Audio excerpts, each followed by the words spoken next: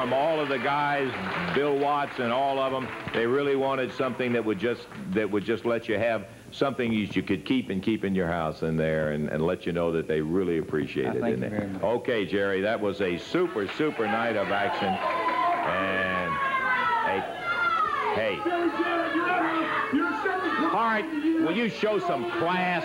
you accepted all kind of awards, Jerry Jarrett. What's this award for, Mr. Jarrett? It's for promoting the big U Pro USA wrestling show in Memphis, right? You're the big promoter, right? Well, let me tell you what you forgot. You forgot the two greatest pieces of talent in professional wrestling today.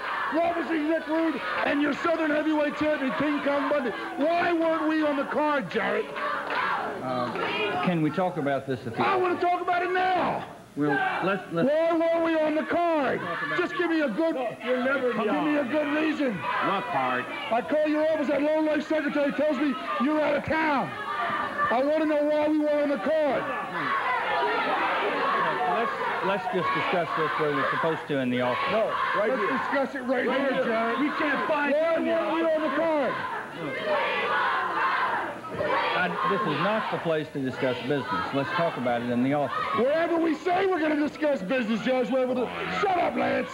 I want to know why Ravishing Rick Rude and King Kong Bundy weren't on the big card. We made fools got two. of Savage and Lawler. Lawler was all over in the tournament. We beat his butt all over the United States, and you put him in a tournament, and he's going to be on the big show. What about your talent? What about the stars, Jarrett? what are you trying to embarrass somebody? Why don't you do this? I want the man to give you a straight answer. Look, look, I want a straight answer, Jarrett. That's all I want from you. I had some nominations to be on the card. So did all of the other six promoters. There was a select committee of which I wasn't even a part of It chose the talent. I recognize y'all or I wouldn't have you working for this company as two of the top talents in the country.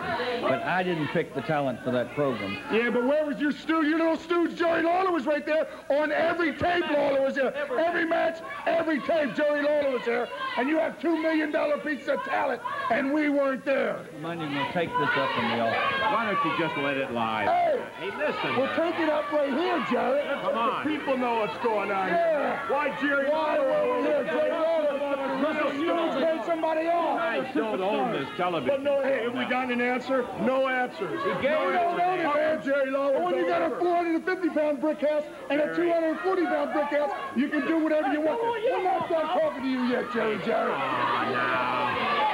You don't walk away on King Kong Bundy and Robinson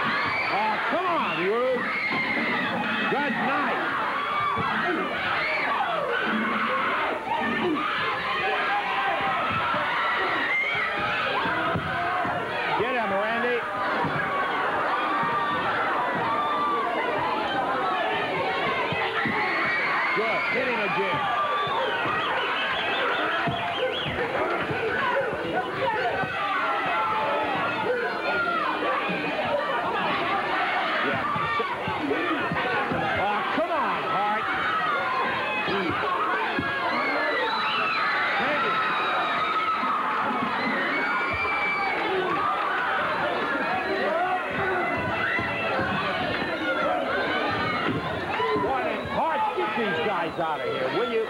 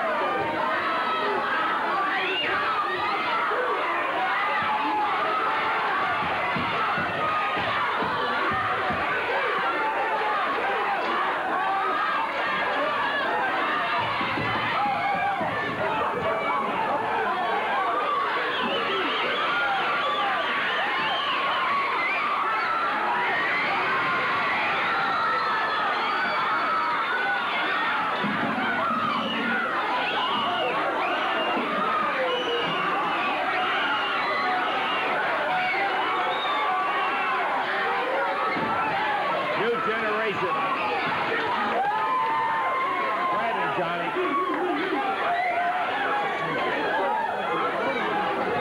Let's uh, let's take a break, and we'll we'll try to get this uh, settled down. Let's take a break.